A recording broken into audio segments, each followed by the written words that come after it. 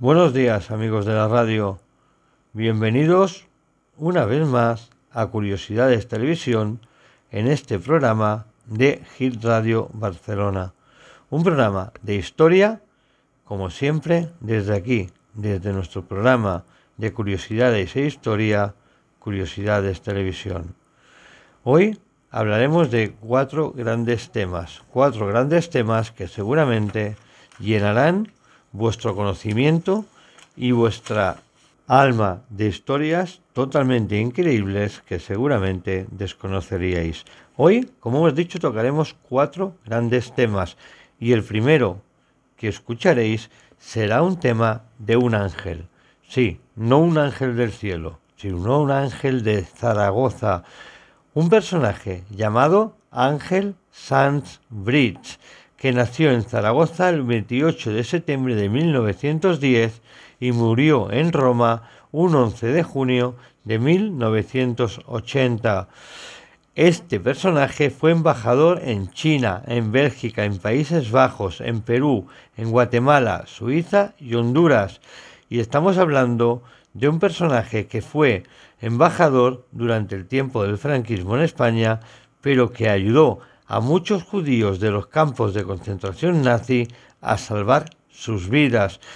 Un embajador, Ángel Sainz-Briz, que hizo oídos sordos al franquismo, que aunque luchara en el bando nacional, veía las injusticias que se cometían durante esa Segunda Guerra Mundial en Alemania y con pasaportes falsos ayudó a muchos judíos y gitanos a salir de Alemania para evitar que fueran exterminados en campos de concentración. Un verdadero ángel de carne y hueso llamado Ángel Sanz Bridge. Ahora nos desplazaremos a esta segunda historia y nos iremos a la ciudad de Lídice en el 1942, también durante la guerra, una guerra que mató a millones de personas y que mató también a estos niños de Lícide donde veréis esa fenomenal historia donde les fue construida una estatua después de más de 20 años de recopilar información y que esa estatua fue real y construida en el 1969 y marca esos niños y niñas que fueron asesinados por el franquismo con sus caras, sus cuerpos y sus estaturas, una estatua que nos dejará indiferente. La muerte de 82 niños que ahora yacen en vida a través de una estatua en Lídice. Nos iremos también a nuestro tercer capítulo y para eso hablaremos de una mujer, porque siempre se ha dicho que detrás de una mujer hay un gran hombre. Y este es el caso que os vamos a contar hoy la mujer de Albert Einstein, que se llamaba Mileva Malik, una mujer en la cual hizo cosas increíbles y que seguramente muchos de vosotros no conocéis. Una mujer que fue el faro iluminador de ese Albert Einstein que todos conocemos. Y por último, por último, tenemos un tema que nos toca muy, muy de cerca. Un tema que pasó aquí en España en el año 1977. Hablamos de una revista de humor, una revista de humor en su tiempo muy satírica, una revista de humor que seguramente muchos de nuestros padres y abuelos conocen y que dio paso a una nueva revista que hoy en día todas y todos conocemos como el jueves. Óscar Nebrera, su director, era uno de los dibujantes y escritores de esta revista que os vamos a hablar. Una revista que en el año 1977 tuvo su tapa más negra al ser destrozada su editorial y también muerto alguno de los dibujantes y sobre todo aquel conserje en trocitos por culpa de una bomba colocada allí por la banda terrorista Triple A, una banda terrorista que era la derecha de este país después de un año 77 en el que fue, por ejemplo, vuelto a permitir el Partido Comunista que se pudiera presentar a las urnas por Adolfo Suárez. Un año convulso, un año que pasaron dos años desde la muerte de Franco y que desde entonces la derecha de este país estaba dolida y convulsa por perder los órdenes que tenía el franquismo hasta la muerte del dictador. Y que en ese año fatídico 1977 ese grupo terrorista de la AAA puso la bomba, mató al conserje y destruyó esa gran revista que era el Papus. Y os hablamos aquí, pero para eso tenemos que empezar este programa y lo hacemos con ese ángel, ese ángel de carne y hueso llamado Ángel Sanz Bridge. Os dejamos con este reportaje. Hoy, seamos creyentes o de derechas o de izquierdas, eso da igual, hablaremos de un verdadero ángel. Que nadie se asuste. Esto no va ni de santos, ni de cristos, ni de ninguna religión, ni política creyente. Hoy hablamos de un personaje que por su valentía y entrega a los otros seres humanos ya merece este calificativo. Hablamos de Ángel Sanz Bridge, quien su mismo nombre ya hace honor a su tarea de salvar vidas. Ángel Sanz Bridge nació en la ciudad de Zaragoza un 28 de septiembre de 1910 y murió en la edad de 69 años en Roma un 11 de junio de 1980.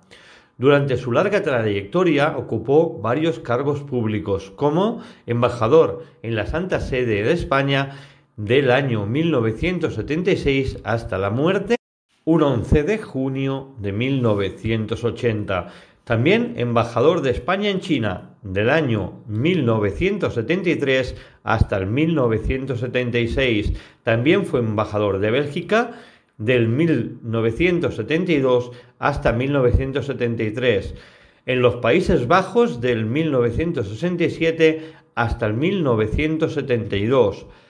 En Perú del 1964 hasta 1967 en Guatemala del 1960 y en Suiza y Hungría también un año en 1944. Pero no queremos destacar su amplio currículum profesional, sino su gran humanidad. Ángel Sanz Bridge, un personaje que todo en aquella época que relatamos ahora estaba bajo el gobierno militar de Francisco Franco, él muchas veces actuaba por libre a las espaldas del aparato fascista del dictador español. Al estallar la Segunda Guerra Mundial y ver el terrible genocidio que estaba llevando a cabo las tropas nazis de Hitler, decidió salvar las vidas de las personas que pudiera de la Hungría que él estaba como embajador. Dicho y hecho, jugándose su propia vida, proporcionó pasaportes españoles a los judíos de origen safardí, pero no tardó en dar pasaportes a cualquier judío perseguido por la Gestapo, las SS de Hitler y cualquier maquinaria nazi. Este hecho fue reconocido como justo por las naciones amigas.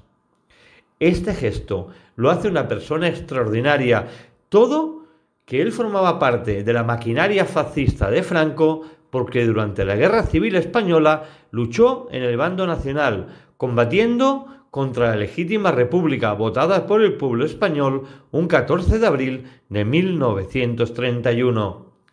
Este gesto de valentía de librar pasaportes españoles a judíos marcados ya con una cruz de muerte para los campos de concentración o ser fusilados por el ejército nazi hizo que unas 5.000 personas de origen húngaro salvaran su vida y pudieran borrar así la cruz de muerte de su espalda que señalaba el fin de sus vidas.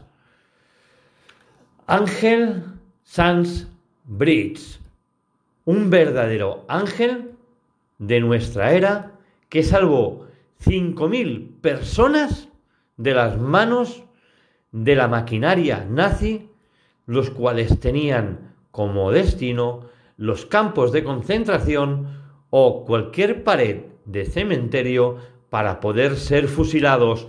Un ángel, un verdadero ángel, Ángel Bridge, que desde aquí, nuestra biblioteca de la historia, queremos darle las gracias, sea del bando que sea, pero damos las gracias a su humanidad por salvar vidas, todo y jugándole a él poder perder la suya.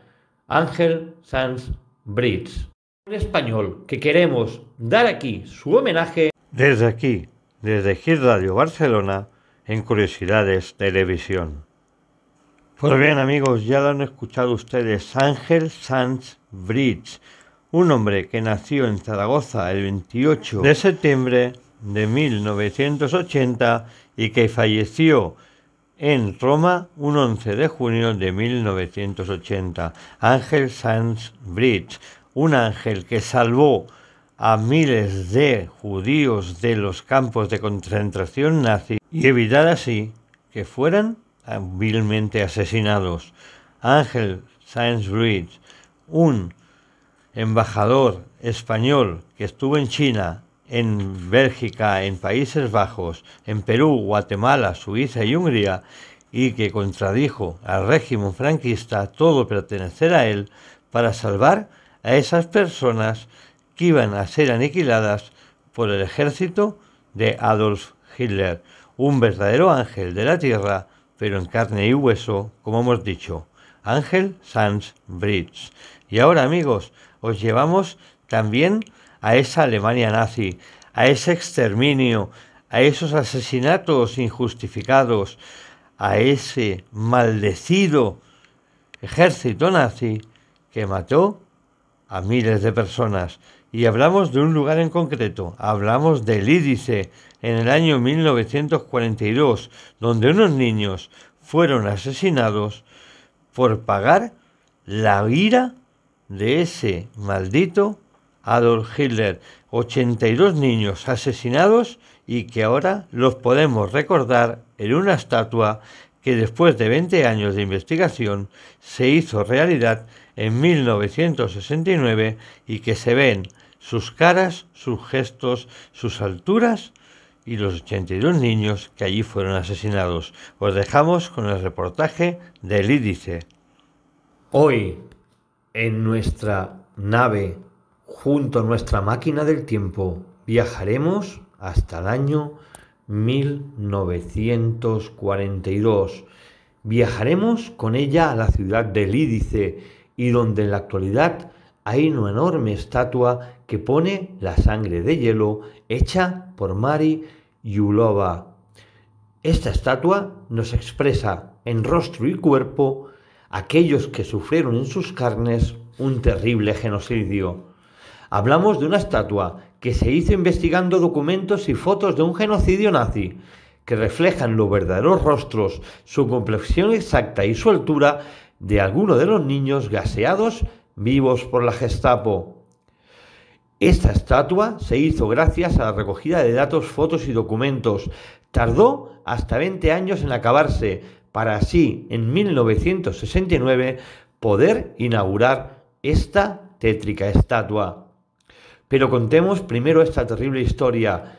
Era el año 1942, cuando quien era el protector nazi de Bohemia y Moravia Reinhard Heinrich recibió un potente atentado en la ciudad de Praga, hecho que días después, concretamente un 27 de mayo, le produjo la muerte por las diversas heridas sufridas.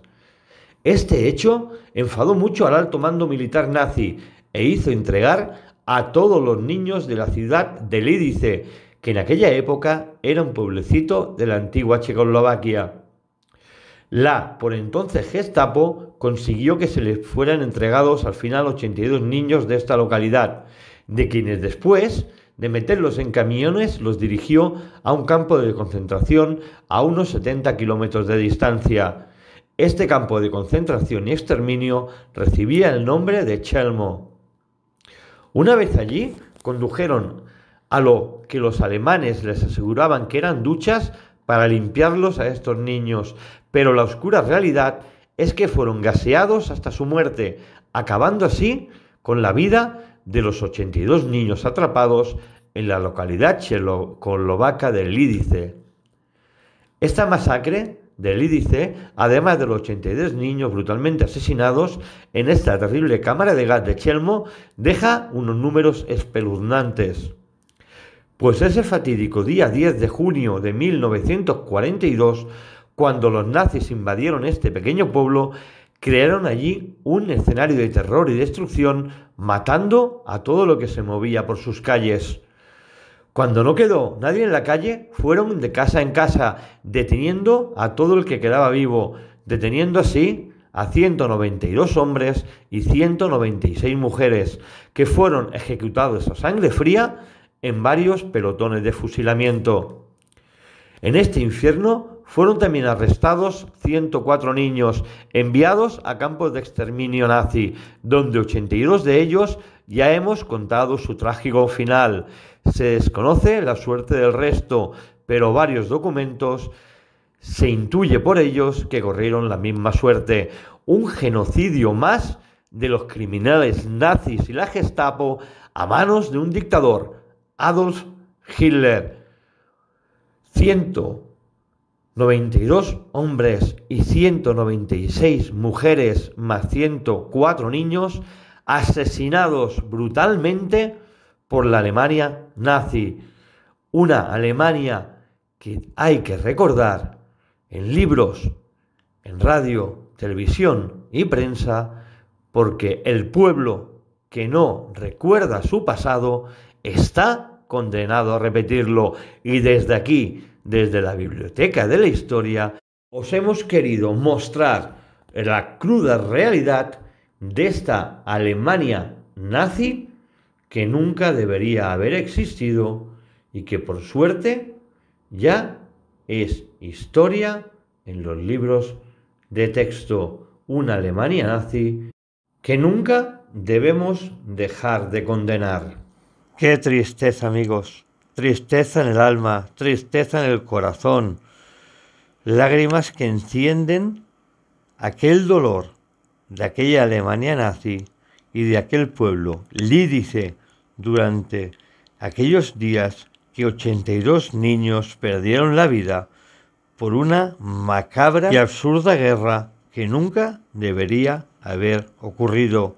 La maldad humana en el máximo esplendor, donde mayores vestidos de militares y por la orden de alguien que estaba en el poder, asesinaron a un montón de gente sin importarles la edad de dónde eran o su razón social. Unos niños asesinados vilmente por aquel nazismo que mataba a las personas en cámaras de gas y que hizo lo mismo con estos niños, destruyendo sus sueños y sus vidas. 82 niños que hoy podemos recordar en esa magnífica estatua construida en el 1969 y que muestra sus rostros, su estatura y su edad. Y desde aquí os lo hemos contado, desde nuestra transparencia y claridad, aquí en Curiosidades Televisión, en Gil Radio Barcelona. Y ahora hablaremos de una gran mujer, porque detrás de cada hombre, de cada gran hombre, hay seguramente una mujer extraordinaria, como dice el refrán, Mileva Malik, la mujer de nada más y nada menos de Albert Einstein, una mujer que trajo mucho su vida y abandonó sus estudios para ayudar y encargarse de la casa de sus hijos y también, como no, de este genio de las matemáticas, Albert Einstein. Os dejamos con este reportaje, amigos. Dicen que cuando alguien brilla es porque tiene una importante sombra que la acompaña o una luz que lo ilumina desde el anonimato. Por eso hoy decidimos hablar de una persona que alumbró durante muchos años un gran genio. Hablamos de Mileva Marik, mujer del gran genio Albert Einstein.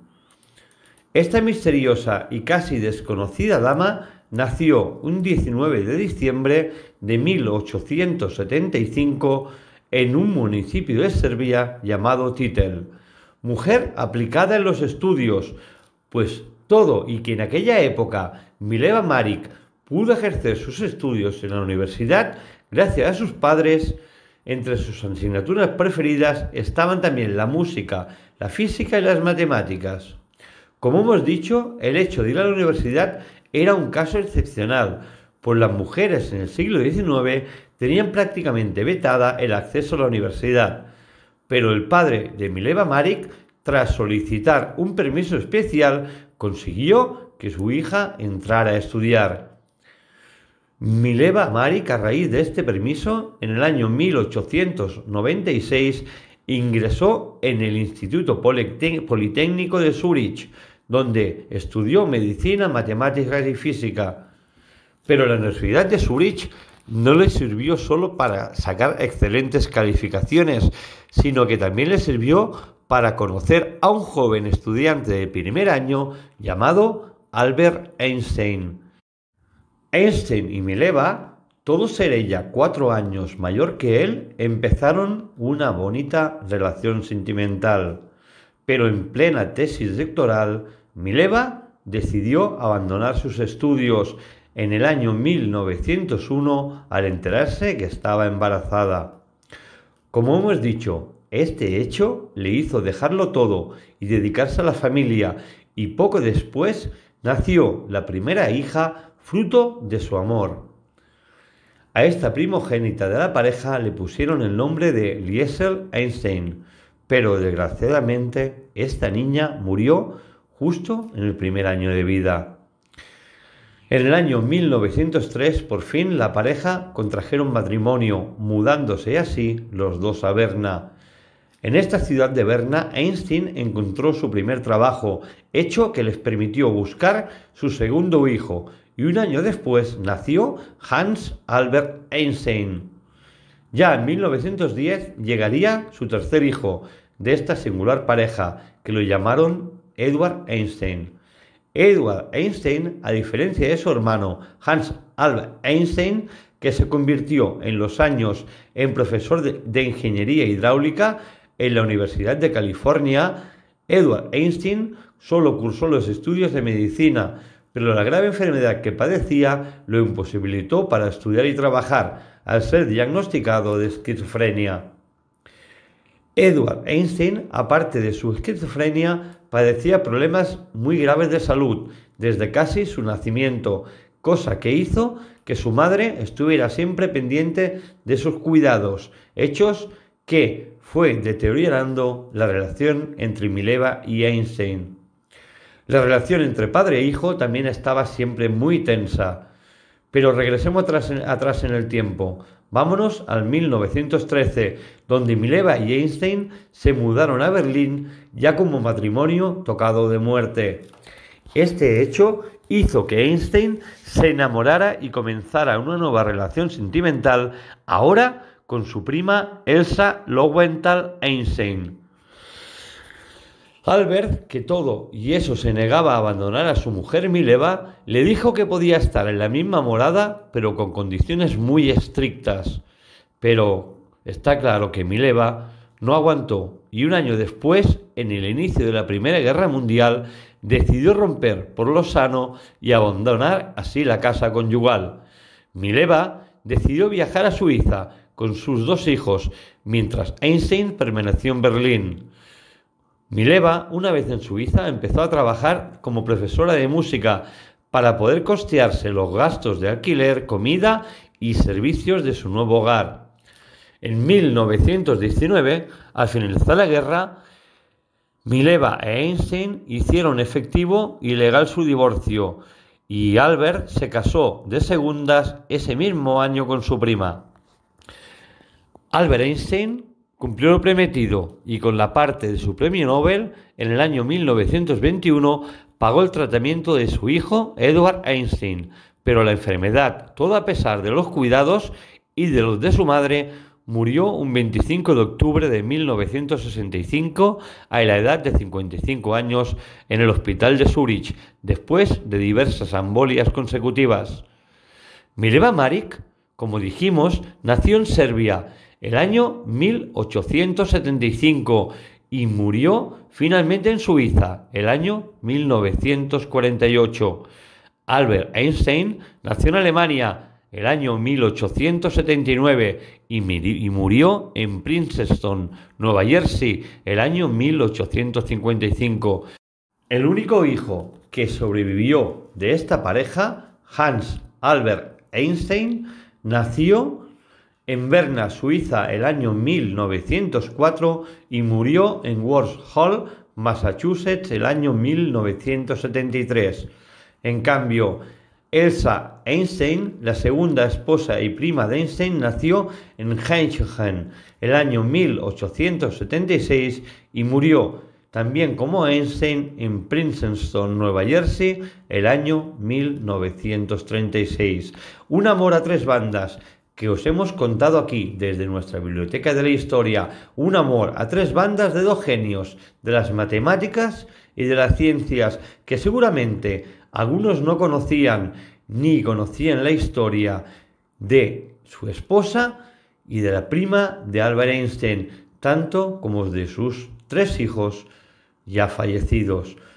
Un amor a tres bandas que desde aquí, desde este programa, en Gil Radio Barcelona de Curiosidades TV, les hemos enseñado y mostrado una mujer extraordinaria que era la mujer de Albert Einstein. Pues bien amigos, ya lo han escuchado. Mileva Malik, la mujer de Albert Einstein, una extraordinaria mujer que, que, nació en la ciudad de Titek en el año 1875, que en 1886 se postuló en Zurich y que en el 1877 conoció a Einstein y en el año siguiente acabaron casándose. En el 1901 tuvo su primer hijo que murió a los dos años. Luego, en el 1903 su segundo hijo y en 1910 su tercer hijo. Una mujer que lo dejó todo por Albert Einstein y que hizo de este gran genio de las matemáticas un gran personaje y un gran ser que nos ha dejado un legado matemático y científico a todos los que todavía estamos en este mundo y que ahora muchos seguimos y comprendemos sus teorías y sus cálculos casi infinitos de matemáticas. Y ahora, para acabar este programa de Curiosidades Televisión dentro de Gil Radio Barcelona, nos iremos a Barcelona, nos iremos a una revista, nos iremos al año 1977, donde un atentado terrorista de ese grupo de derechas llamado la AAA acabó con la vida de un personaje que estaba haciendo su trabajo en la portería de esta famosa revista irónica y de humor, una revista que no gustaba a nadie del régimen franquista y que acabaron poniendo una bomba en su interior, matando a su conserje y creando la desaparición de esta revista que ahora todo el mundo conocemos con otro nombre, el jueves, y que bueno, desde aquí, desde Curiosidades Televisión, os mostraremos esta brutal historia de muerte y sangre de una revista irónica que fue atacada vilmente por un grupo terrorista llamada la AAA. Os dejamos con el reportaje. Llevamos unos días hablando de atentados y de actos terroristas, pero si levantamos la vista hacia atrás, uno de los más sonados en Barcelona, en plena transición, fue al acontecido en la revista satírica de humor El Papus. Seguramente a muchos esta revista os sonará a chino o no conocéis su existencia, pero os aseguro que durante la transición fue la única revista capaz de satirizar a la Iglesia y todo lo que tenía que ver con su poder rancio, factio y militar después de una dictadura franquista. Hablamos del año 1977, solo dos años después de la muerte del dictador. eran tiempos muy confusos entre derechas que querían perpetuar el poder fáctico del clero y lo militar por encima de lo civil y las izquierdas que querían un cambio democrático y una transición rápida y segura.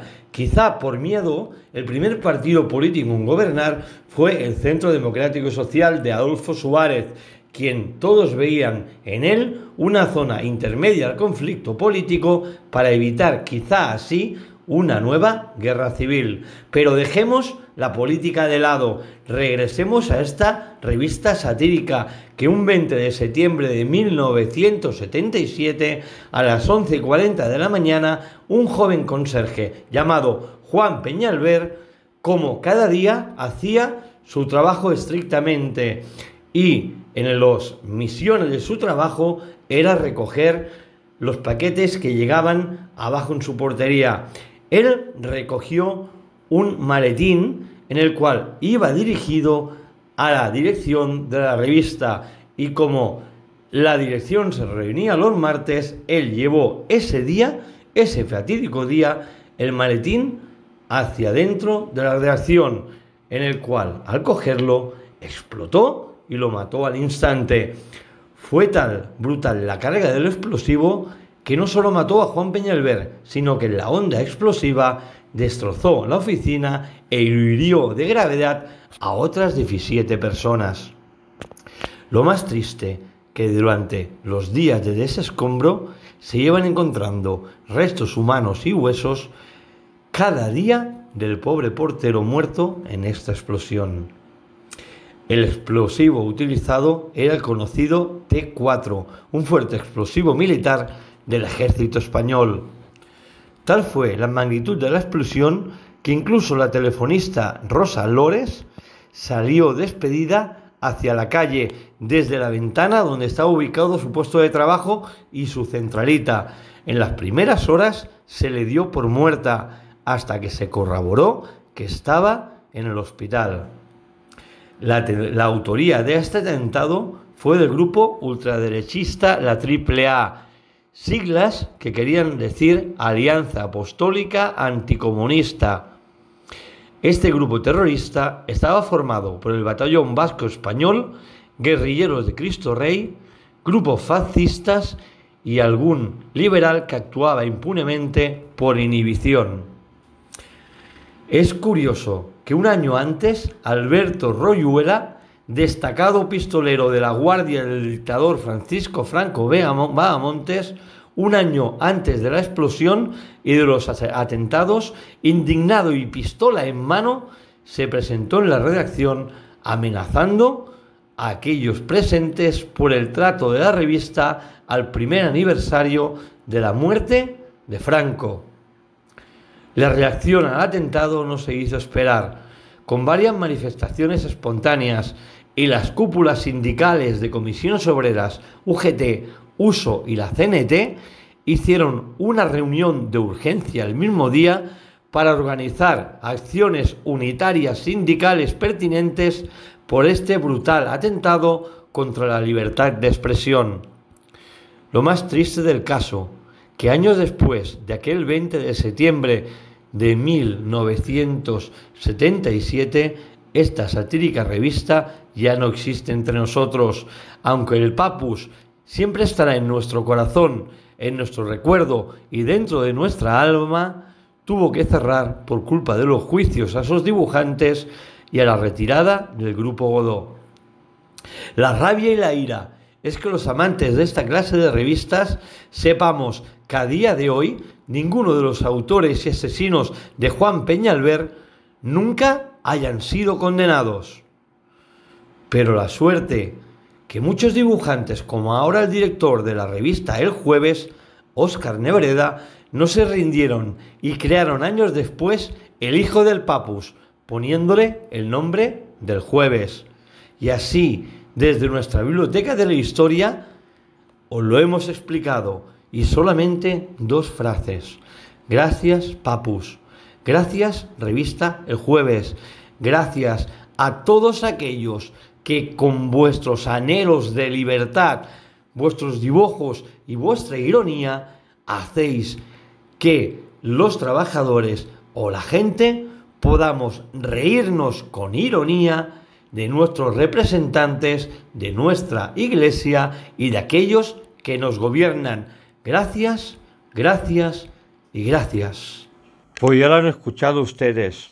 Esa bomba de la revista El Papus en el año 1977, año en el cual Adolfo Suárez legalizó el Partido Comunista de España, una cosa que no gustó a la derecha más rancia de este país y donde decidieron a través de la AAA entregar una maleta llena de explosivos a ese portero, a Juan Peñalver, en el cual, después de entregarle a la redacción, le explotó en las manos y destrozó su cuerpo a cachitos y también hirió a 17 personas más.